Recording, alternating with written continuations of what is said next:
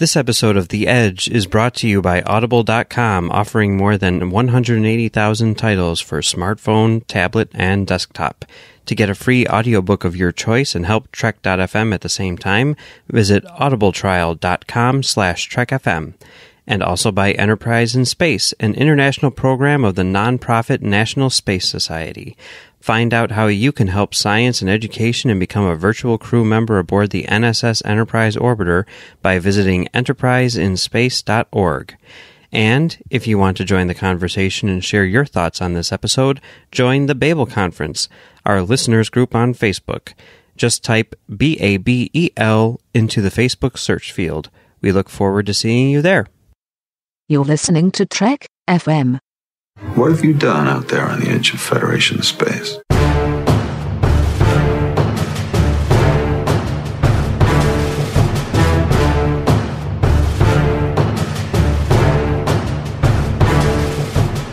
Welcome, listeners, to Postcards from the Edge. I am your host, Amy Nelson, and with me this week is Hayley Stoddart from Standard Orbit. Hayley, thank you for coming on Postcards. Well, thank you for asking me and thank you for having me. And it's always fun. I love sitting down and recording with you. And we get to do it like so much now. I know. We used to never, unless we had our standard orbit Earl Grey crossovers. And now we're talking every week on Discoville. It's so great. It is. It really, really is. Yeah. So why don't you tell our listeners, in case they aren't listening to Standard Orbit, and they should be, uh, tell us a little bit about that. Yeah. So if you are not listening to Standard Orbit, as the name implies, we talk nothing um, but the original series. That includes all three seasons. It includes the TOS films and the Kelvin films because technically those are TOS as well. They It's really are. fun. It is. You, Zach, and Ken do a great job, and I listen every week. Oh, thank you.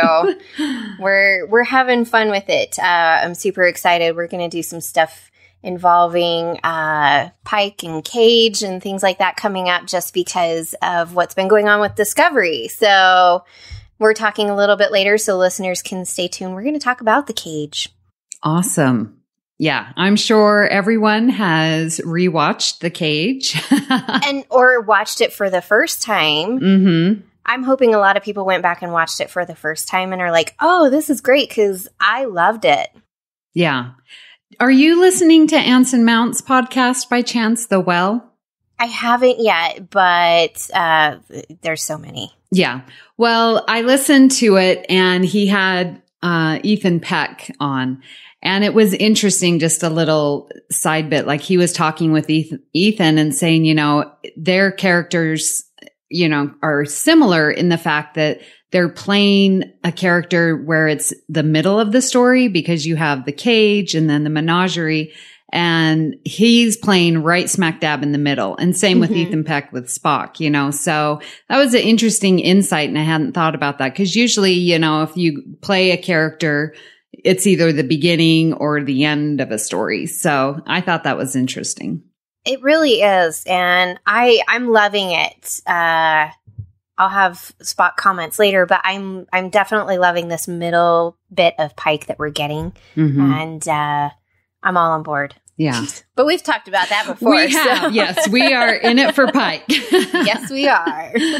Well, today we are going to discuss the fan response to season two, episode eight, If Memory Serves. Now, if you would like to participate and share your response, please post your comments on the Babel Conference. That is our listeners group on Facebook. Type Babel, B-A-B-E-L into the search field and it will come right up. Now, at the time of this recording, we had a whopping 415 comments. Holy moly, that's insane. Yes, I was telling you, I'm like, I feel like we have just broken warp 10 because this is the most that I've ever documented. Um, that is a 68.7% increase from last week of 246 comments. So we are full warp ahead. Yeah. Uh, I think we might be in trouble with our, our warp on that one. I know. Systems failing. yeah, exactly. We might have people coming telling us, hey, this is too much. Yeah. Can't do this anymore. Well, I am very excited, listeners. Um, it is so nice to see everyone's comments. I feel like I'm just coming back to old friends, and I have tried to include as many comments as possible this time. So we're just going to go through, read them. But first, Hayley, tell me, what did you think after watching this episode? Like, what were your thoughts, you, especially knowing the original series so well?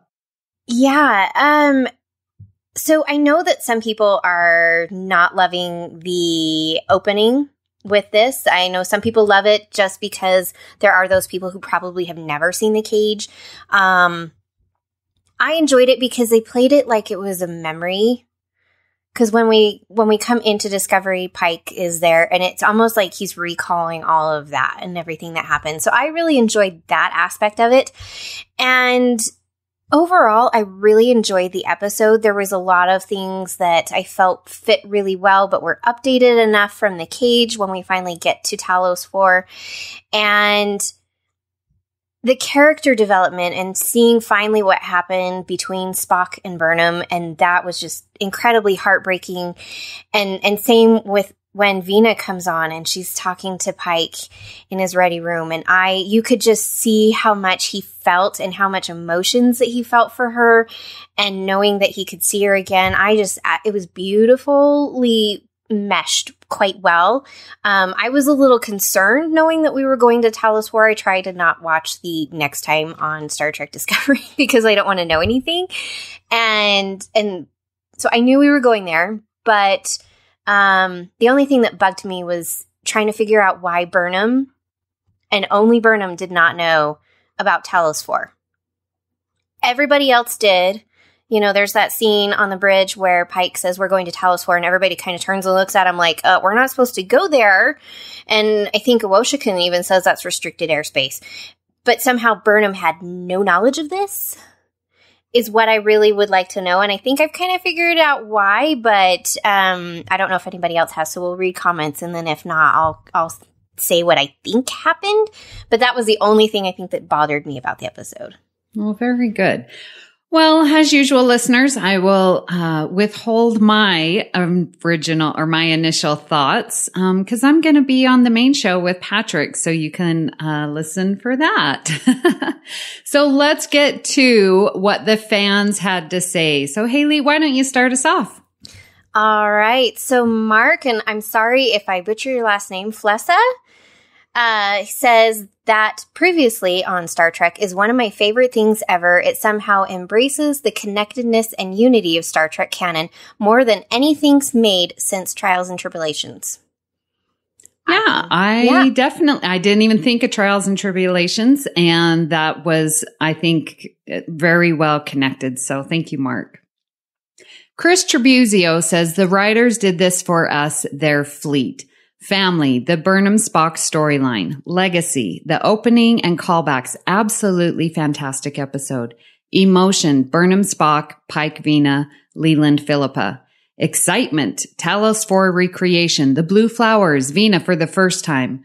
Tactile, the whole episode was so cerebral, vivid, emotional, it was right there for us to touch it. I truly enjoyed it. Now, Chris, I think you had a challenge that was a three word challenge and family, legacy, emotion, excitement, tactile. Mm, I think I can count, and that's more than three. I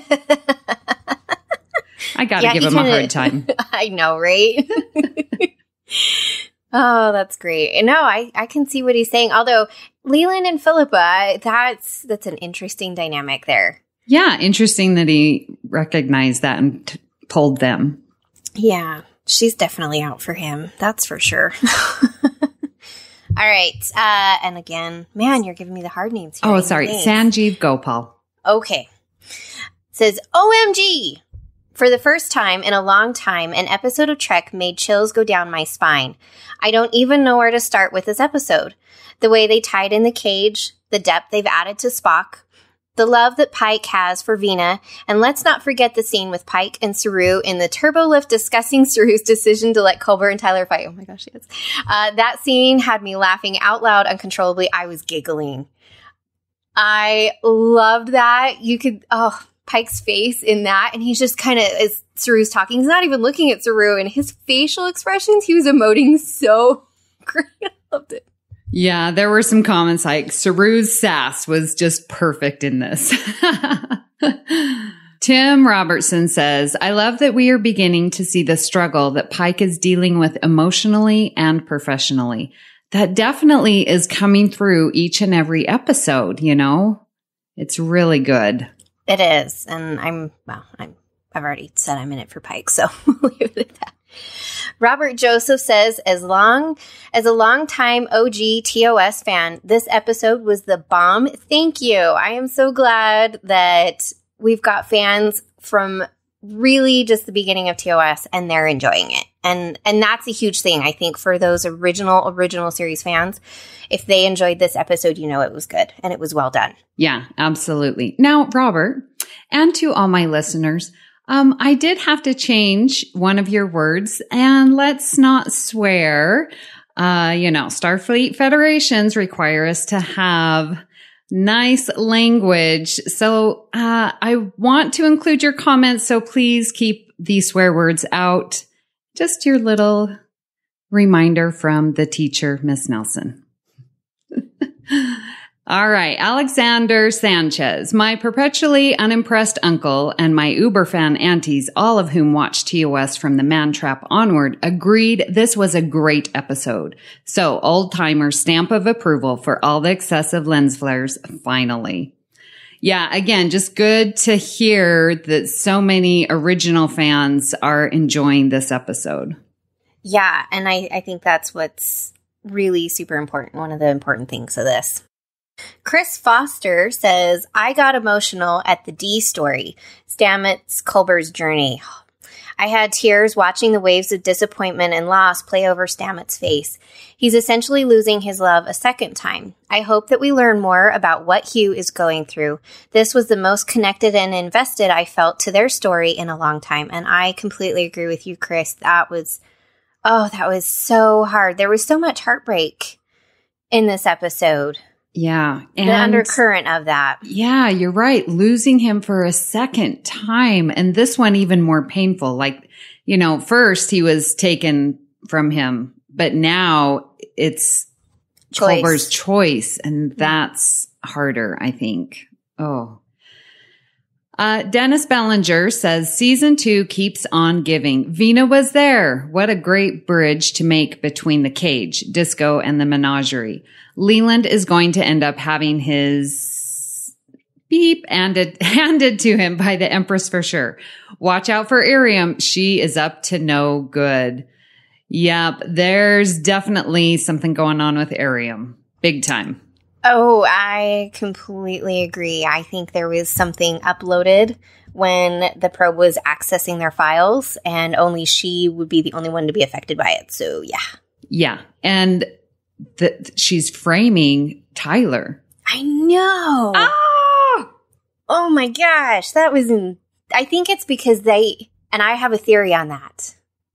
But I think it's because they. Section 31 was worried because of Tyler's relationship with Burnham that he would not do the job that they sent him to do. Hmm. Interesting. Do you want to hear the rest of my theory really quick? Yeah, I do. I think that that probe, because it's 500 years from the future, I think that is, and, and Section 31 has always had way more advanced tech. I think Section 31 got the probe and sent it back with whatever tech that they had, and that was Section 31. Ooh, so I it's like Section it. 31 from the future Yes. somehow manipulated Airiam. Yes. Yes. Ooh, I That's- like it. That's, that is my theory. okay, you heard it here first. Yep. All right. Bill Sweet says, OMG, that was so much fun. I love how this fills in the menagerie a bit as Spock paying back an old debt to Pike, and it shows how he was in contact with the Talosians, which was always a head scratcher for me. Still no answer on whether General Order 7 exists yet. They kind of sidestepped that one. And Burnham, being the impetus that drove Spock to logic, isn't probably going to sit well with some, but I'll accept it. Retcon never feels as satisfying as headcanon, but it is what it is. Previously on, I was screaming. Vina, more screaming. Peck is solid as Spock, and the sibling repartee was golden. Really nervous about what's up with Airiam. How many episodes left? It can't be as easy as her being the Red Angel, right? And Wilson Cruz should get an Emmy. Oh my gosh, yes, Wilson Cruz should get an Emmy. His acting in this episode was amazing. I really could not believe like how believable. I- Yeah. you went on that journey with him. You did. Yeah. Oh, from being And, uh, confused see. and angered and raging and oh my gosh, yeah. Well, and it's understandable. And I like that we're seeing that because I think so many times Trek just kind of does stuff and then it leaves it. And, and we don't see it. And this is why I love, um, It's Only a Paper Moon in DS9 because it's following up with what happened to Nog. And, and we don't see that enough in Trek. Sometimes it's just left Yeah. and it's like, oh, next week everything's fine. And it's like, Mhm. no, there's not. So, but I think we have um six episodes left because this was eight, right? Because there's 14 episodes. yeah. The Yep. final one will be uh, April 18th, and I counted because there's something that weekend that I'm going to. and we're so, Yeah. um, yeah. Yeah, I know. It's we're on the downward. Oh. Rob Vaughn says, a quick comment for postcards. Possibly my favorite episode so far. I'm telling you, I hear that every week. So yes, Rob, I think many agree with you.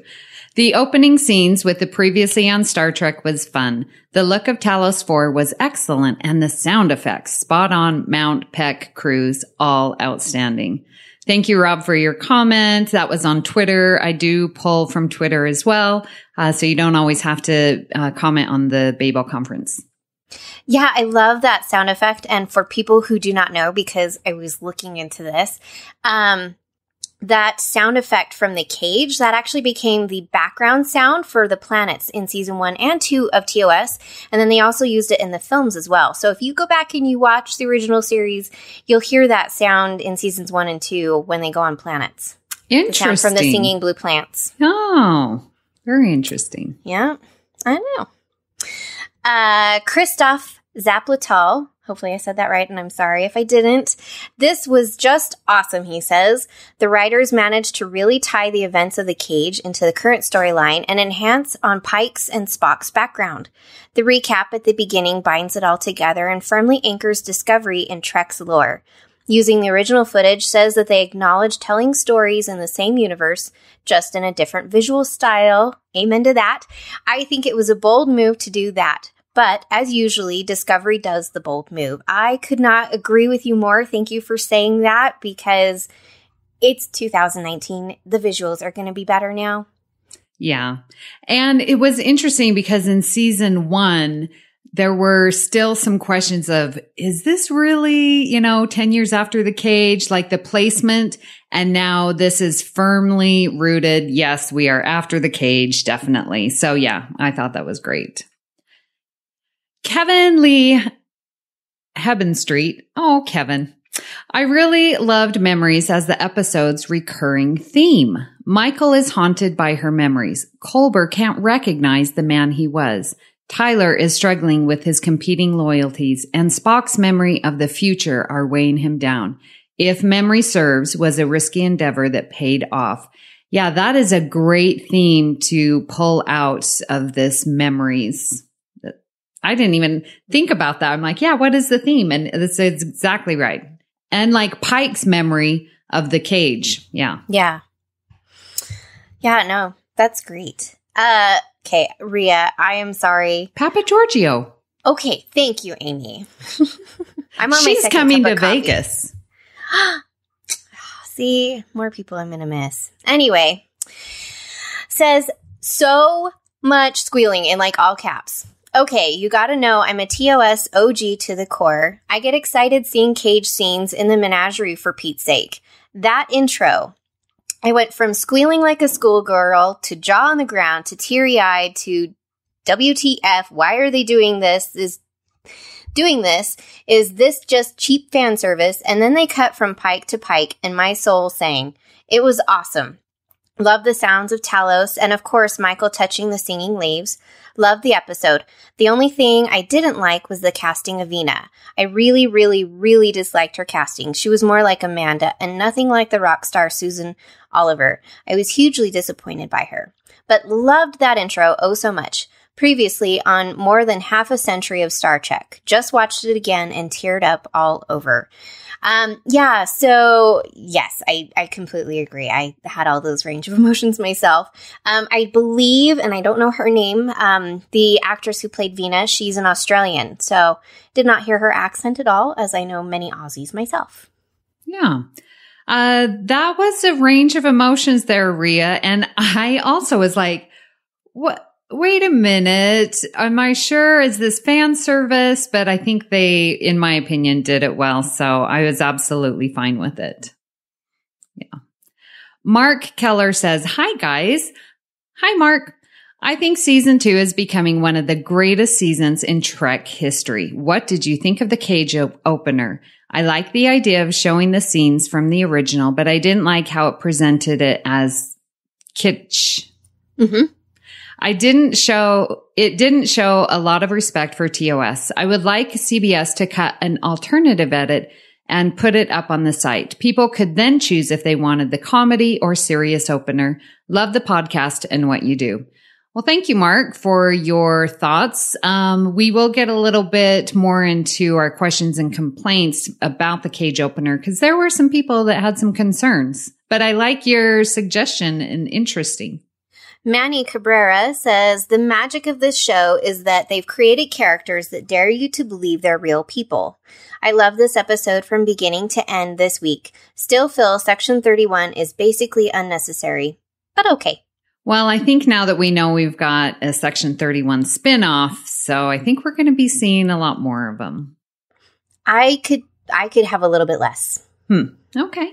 Interesting.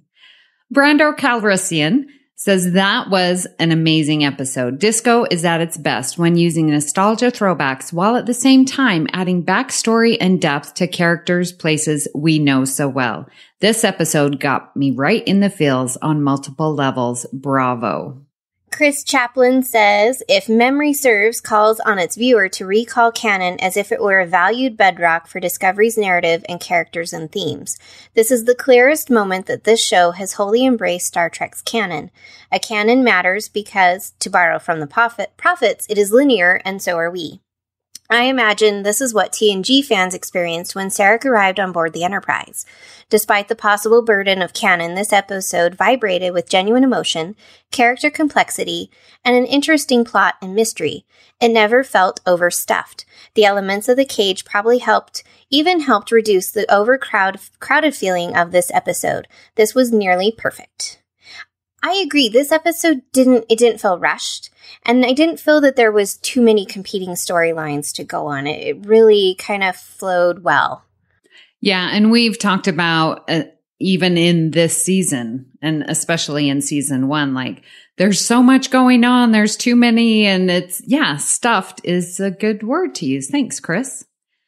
Karen Chupless writes, I keep going over the switching between past and present and child adult pairings changing constantly in the flashback reveal.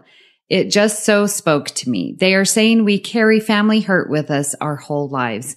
At least I felt them saying that. It's so, so heartbreaking to me that I get teary even remembering that scene. I had expected to be completely underwhelmed when that came because I think we all knew the gist of what was going to be. But the acting by all four of them, the way it was filmed, the way it was written, it just broke my heart. It makes me think of a song I love. Be careful how you send me. Be careful how you bend me. Careful how you end me. Be careful with me. Well, thank you, Karen. That whole scene between the, yeah, the young and the older, it, it was very artfully done. It really was. And it made you think that they were not just living it again in their memories, but really living it again for mm-hmm. the first time. Yeah. As adults and and you know Spock saying you know you don't have to apologize and uh yeah it was quite powerful. All right, Amy, you're probably gonna have to help me with this next name. Shoaib Mirza. Okay, I was going to say that, but then I wasn't sure, so I apologize, listeners. Says, This week I chose to play a logic exercise. To watch DSC, DSC with extra scrutiny and break down the plot, characters, and settings as objectively as possible for a lifelong Trekkie. Oh, who am I kidding? LOL. What a ride. From the opening sequence, I thought Space Channel Canada was airing a Discovery special before the episode aired.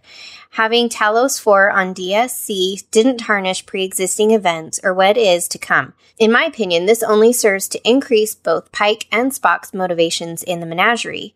Pike's flame for Vina is lit again, and he will long for solace only the Talosians can provide when he loses his mobility. Meanwhile, Spock utilizes his relationship with Burnham and the Talosians' abilities to help himself. If memory serves, will require many re-watches. Looking forward to everyone's comments this week and dissecting every moment from another beautiful episode.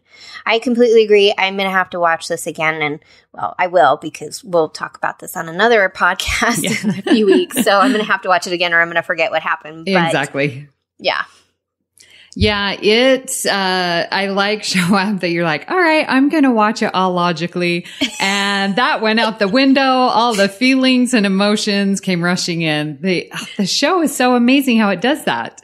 I was going to kind of do the same thing until those blue plants, they brought the blue plants and I was so, and then I just was giddy from the rest of it. I'm like, Yeah. yes. Thank you for bringing back the blue plants. Rebecca Skipper writes, This is very interesting episode that honors TOS in the best way. They even kept the music we hear when TOS crew go to a planet. And you talked about that. Michael Burnham's leaving is very emotional for me as the viewer. Poor Spock. I feel bad for both of them. Notice how Burnham used the same term Kirk did. She uses the word half breed. In a way, this is a very stupid sibling fight, and if Spock were fully Vulcan, he'd been able to cope better. His humanity saved him, yet left him vulnerable. How did Spock's mind go to a fluidic space?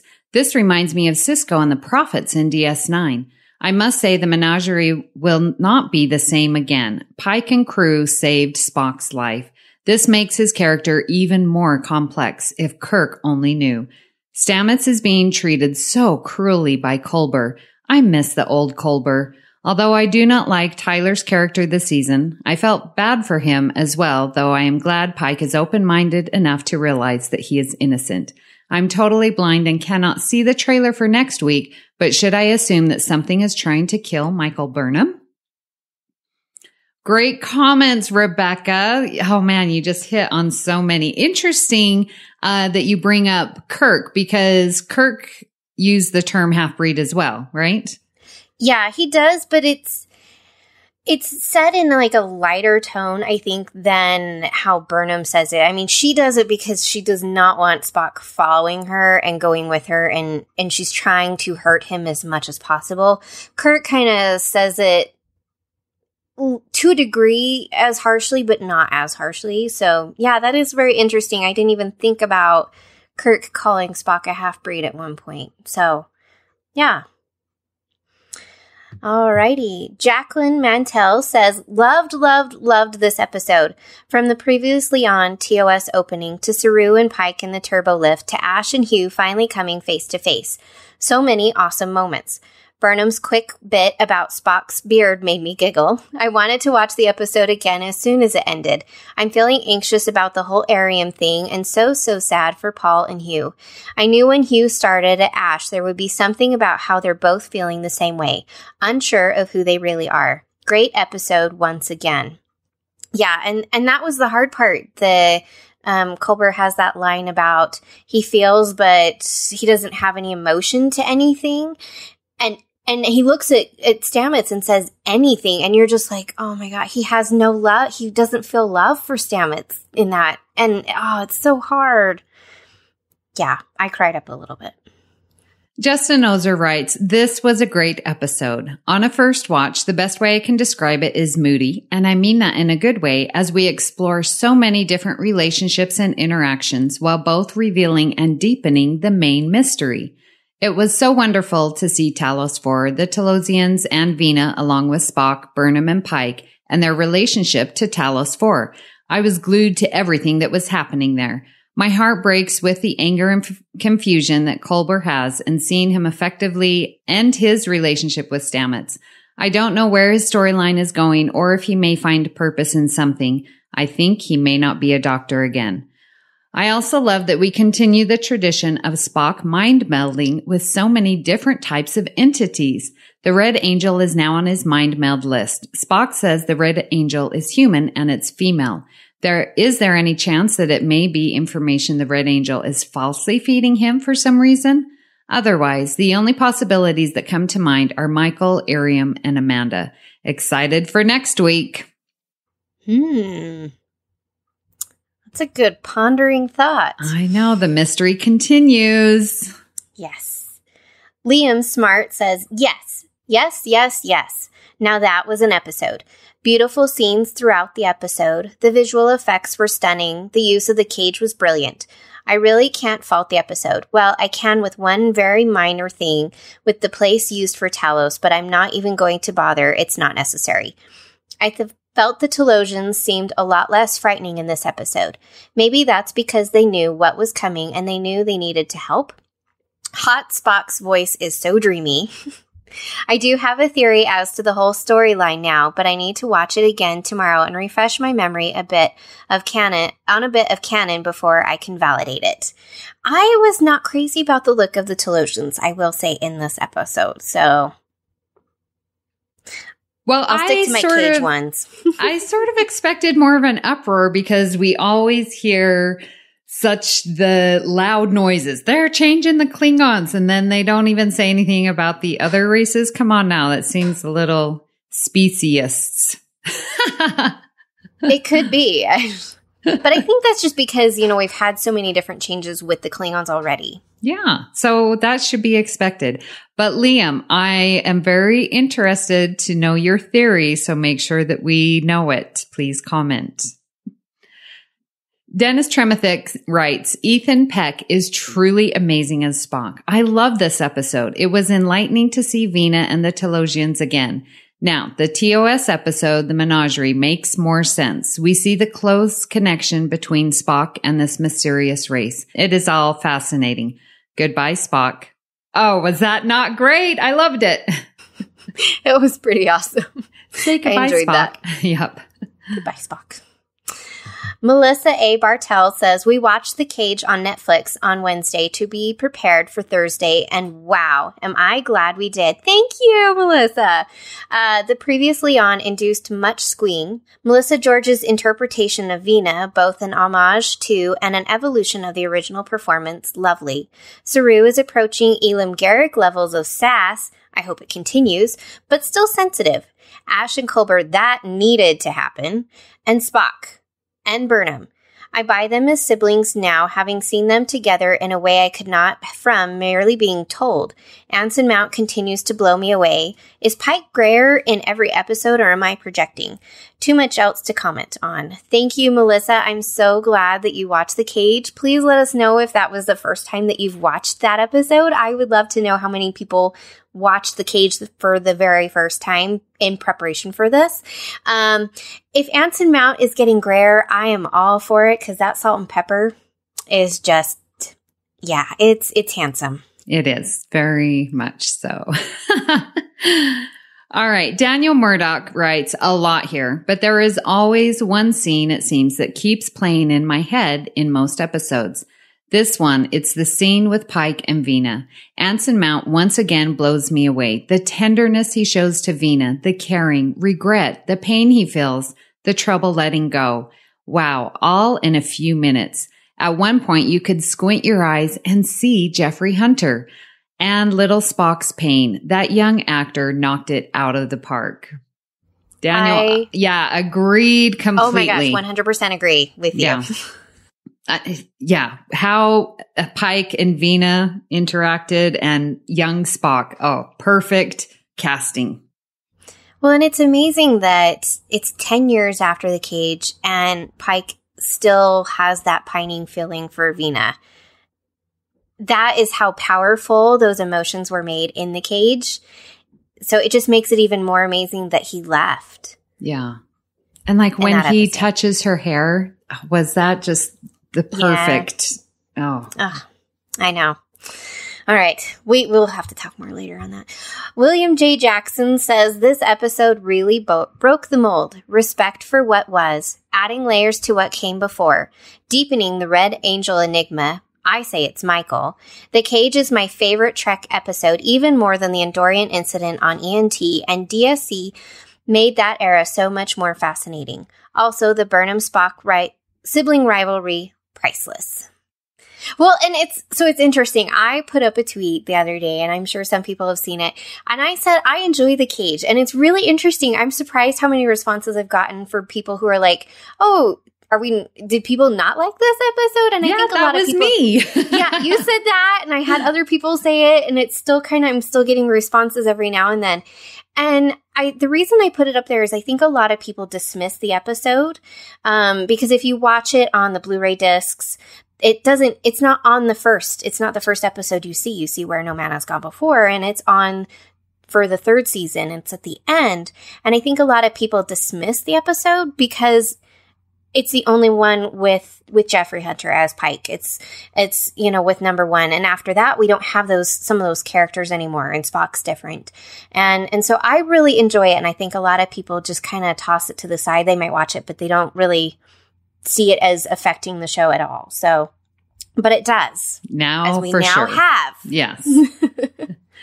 well, Jason Chapman writes, Oh, what a good episode. But that one flashback scene where Michael called Spock a half breed was like a dagger going through my heart. Many times in my own childhood have I heard that term from schoolmates and even family members. I am half Asian, half American. When I was younger, people constantly pointed that out to me. Oh, you're not a whole person, or you're just a half breed, they would tell me. Those words half breed have followed me to my young adult life when I was in the Navy. It is interesting. I haven't heard that term half breed for a long time. I was very surprised when I heard it again tonight on Discovery. After that very intense scene with Spock and Michael, I was mentally checked out. I could not focus on the ending to the episode. I will try to watch the rest tomorrow.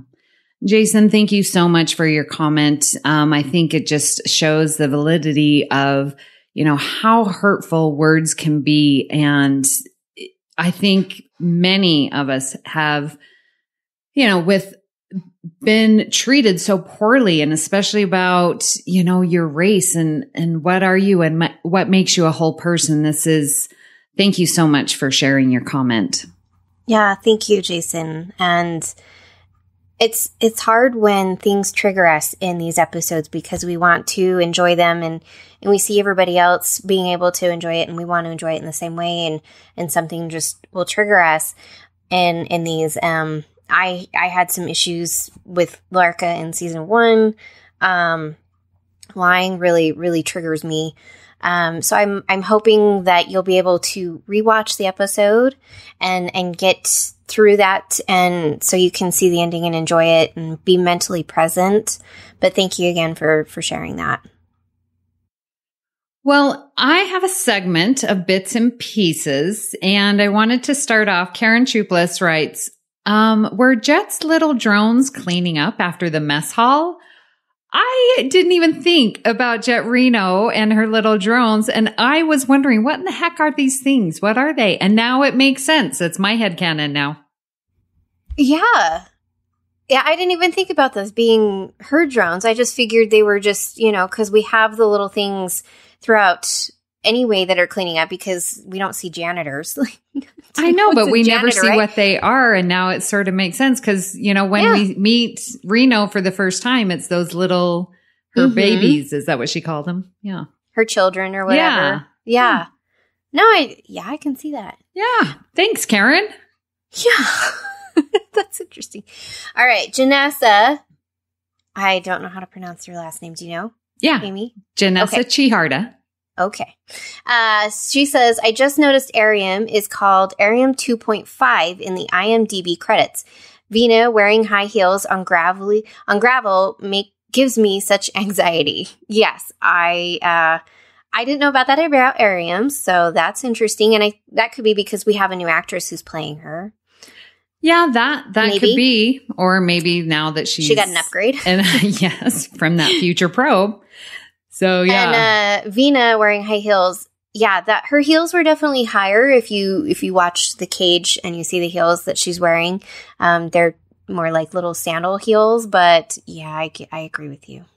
Yeah. And Mark Rodriguez says, why was Vina in heels? Was she given the illusion of sure footing on all that gravel and rock? Or perhaps the heels were an illusion to make her feel more glamorous. But yeah, I saw those heels and they were stiletto. They were pointy and tall. And I'm like, ah, uh, no, she would not be wearing that. But Mark, I think you're right. Cause when I watched the cage, like Vina is portrayed as very beautiful. And so I think that it definitely was, you know, reminding us that Vina is this beautiful and it could have been an illusion. Yeah. I mean, it really, yeah, I could see that. All right. Dan McWilliams says this episode and the two before it shows the first time we've brought someone back from the dead or some other seemingly irreversible situation, and yet it is not okay. How Culber, uh, he says 2.0 question mark, is coping with this new lease on life is fascinating. When Harry Kim 2.0 took over, it was like, oh well, Spock was technically a 2.0, and he only acted eccentric for two movies as he got his memories back. Geordi and Picard were basically back to work and having their same relationships be just fine after being turned into a lizard thing and Borg, respectively. I couldn't agree with you more, Dan. Thank you for also noticing that we finally have someone be not okay and yeah. and that's always bothered me with Trek. yeah, that there's no you know after repercussions. Yeah, yeah, exactly. So great thought there, Dan. All right. Now here in postcards, we don't always read the positive. We do have some questions and concerns. Uh, so Hayley, start us off. All right. Alexandra Sandu says, I loved, loved, loved this episode, but I do have one nitpick that bothered me while I was watching. I didn't buy the Talosians wanting to see that one particular moment in Burnham's memory. It was such a cheap narrative device that took me out of it for a while. Still love the episode, but I wanted to get this off my chest. Thank you, Alexandra. Um, I agree. It was kind of annoying, but I think the reason why they needed it is because they were trying to restore Spock. And without all the memories, how can you restore one's mind fully back to where it's supposed to be? Okay. All right. I have more to say, but I'm going to save it for the main show. But I agree, Alexandra. I wrote that down in my notes. Um, and so I don't think it's a nitpick. I think it's a valid concern because I mm-hmm. share it as well. Matthew Bell says, love this episode on so many levels. However, I really wish Discovery would leave interstellar distances well alone as they never seem to get it right from the location of Starbase 1 last season to Starbase 11 this episode, just two light years from the Talos star system. Not only is that absurdly close for neighboring stars, but according to Spock in the menagerie, it's a six day journey at maximum warp from one to the other. Even at the absurdly inaccurate and slow warp factor cubed formula, that's equivalent to warp 5. Do they imagine that the Enterprise is still using NX-01 technology? You know, uh, Matthew, I sort of wondered that myself and I'm like, yeah, why is Starbase 11 so close? So interesting point there, Matthew. Hmm. Did you even think about it? Yeah. I had to think about that a little bit more. I wish uh, if someone has the uh, stellar cartography pulled out, I, I've been meaning to buy it, but uh, and take a look and let us know in the comments what you think because I'm sure that there's something out there. So yeah, I have the book. It just is at school right now with all my other Trek yeah. stuff. So I get it. I've been to your place. There's not much there. Yeah. You really need your little corner at your apartment for reference books and things when you need them handy. Uh, yes, that is true. Mark Rodriguez says, I didn't see the necessity or logic behind showing us scenes from the cage. For me, it only served to point out the differences between then and now. I had started to really see Mount as Pike, then I'm reminded of the dissimilarity. Same with Spock. Newbies didn't really need those scenes, so I don't see the point. Also, with the makeup technology as good as it is now, the real Vina effect could have been much better. Also, the original Talosians were much more frail looking, showing their lack of physicality. I wonder why they abandoned that aspect.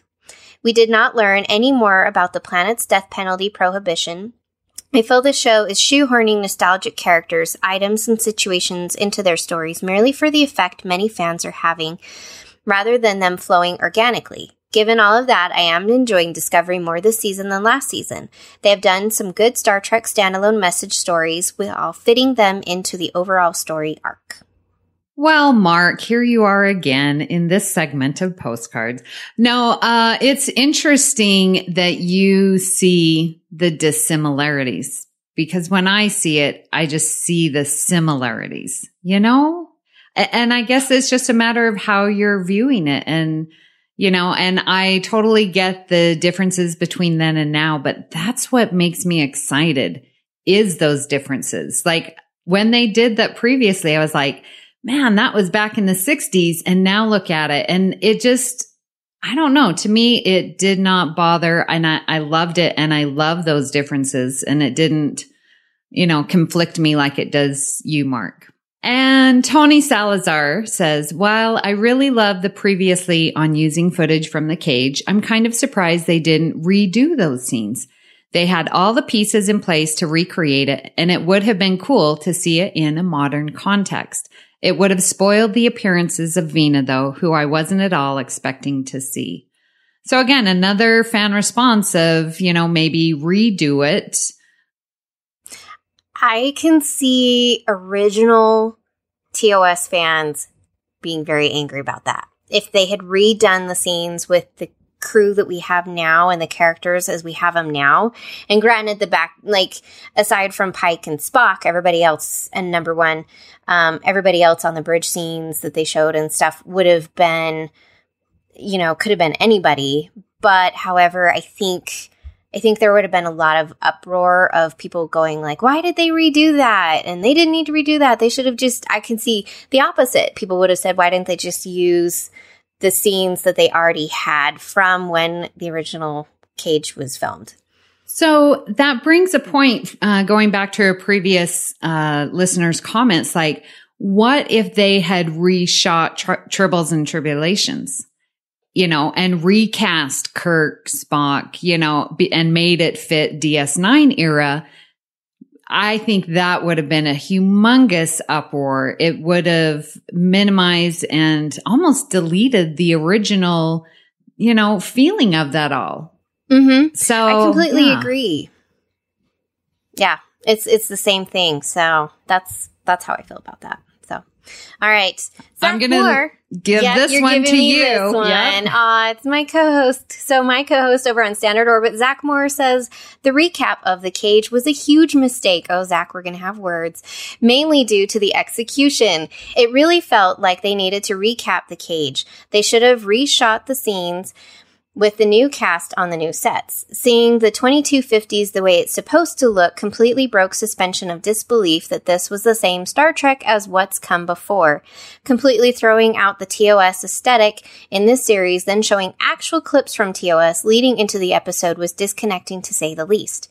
It would be like if Superman Returns started with the prologue of a montage of footage from the Christopher Reeve Superman movies, and the way it was done with animations and cutouts and then remixed TOS music felt like a goofy YouTube video experiment more than a pre episode recap.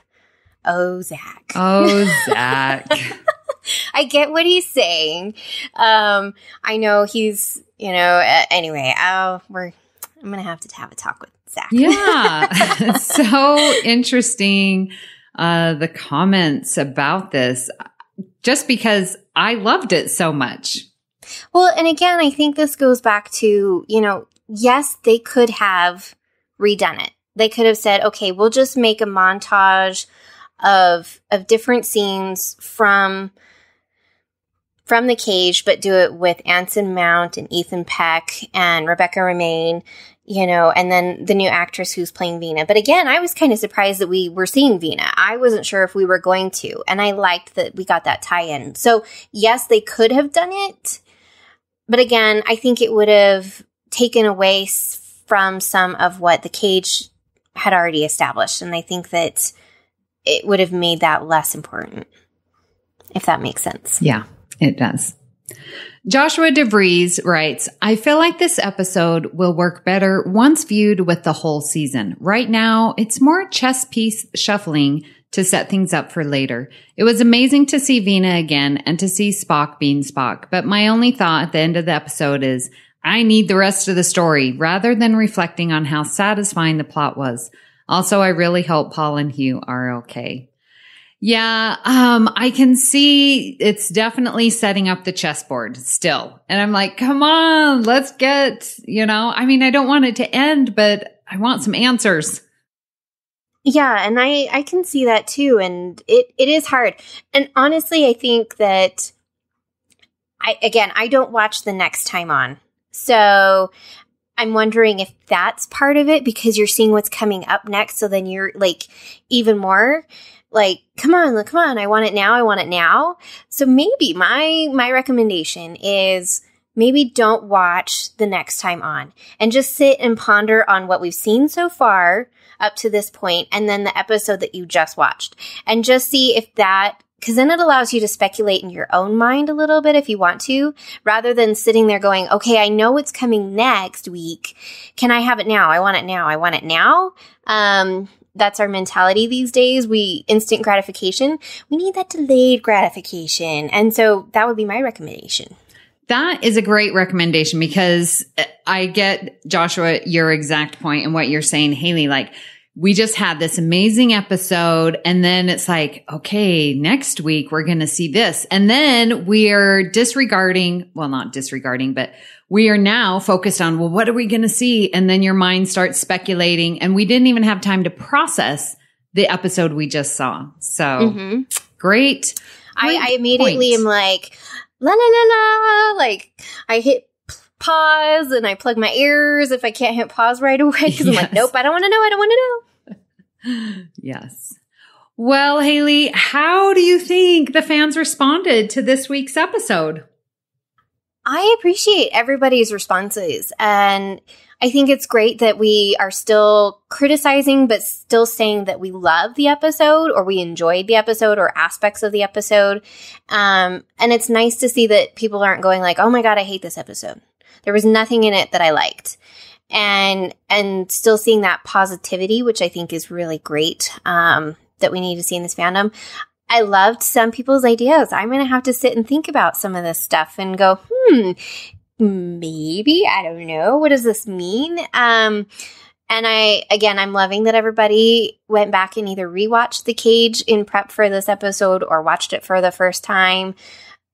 Let me know if you watched it for the first time what you thought because I enjoyed it. So yeah. And again, just the number of comments, and I do apologize That's that fantastic. I couldn't read them all. all I think that would 400. take forever.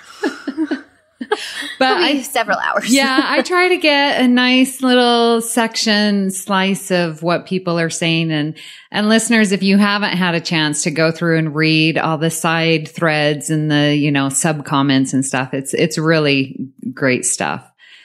So be sure to check out our complete Discovery coverage here on the network. Live from the Edge airs on Friday at 9 p.m. Eastern, so you can watch Bruce and Brandy ask questions live and will be released as a podcast on Saturday mornings. Have you been able to participate at all this season with live? I finally did actually uh, a couple weeks ago. It was really interesting. Uh, there was many jokes that I was a red angel. A, I was wearing a red shirt, and B, I kept freezing because at the time the internet I had in my apartment really was crappy. So uh, it was quite fun. Actually, I enjoyed it.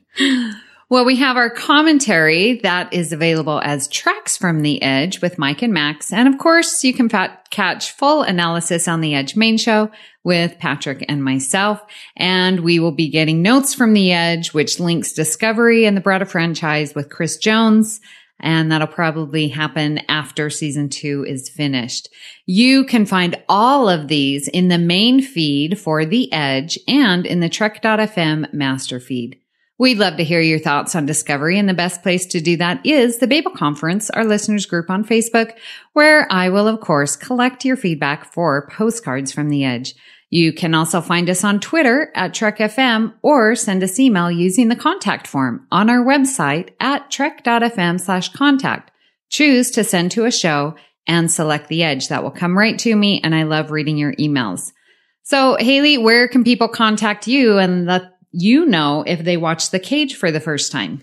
Yeah, uh, you can find me on Twitter. I am at Trekkie01D. I'm also, again, over on Standard Orbit, and I'm also on uh, the Discoville podcast with you. Yes. And a couple of lovely gentlemen. Yes, you can find me here on the network where I co-host The Edge with Patrick Devlin. I also co-host Earl Grey with Richard Marquez and Justin Ozer, which is about the next generation. You can, as Hayley mentioned, find me on the Fandom Podcast Network, Discoville, where we talk the Orville and Discovery. That is a fun mix. Love it. You can find me on Twitter at Miss Amy Nelson, but my favorite place right here on the Babel Conference. If you'd like to help us keep all of our shows going and even become an associate producer, visit patreon.com slash trekfm for all the details. And I would like to take this time to appreciate and thank our associate producers. They are Norm Lao. Hi, Norm. Tony Robinson, Thomas Puleo, Lisa Slack, Shoaib Mirza, Richard Rutledge, James Muldrow, Cornelia Reutner, Ryan Maillet, Chris Tribuzio, and Brian Meloche. Thank you for supporting Trek FM and especially The Edge. Well, thank you, Hayley, for coming on postcards, had your glasses on to read everything, had yes. a nice voice to clearly represent what our listeners had to say. Thank you so much. Well, thank you for having me. Yes, glasses are necessary. so join us next week for another episode of Postcards from the Edge. Hailing frequencies open.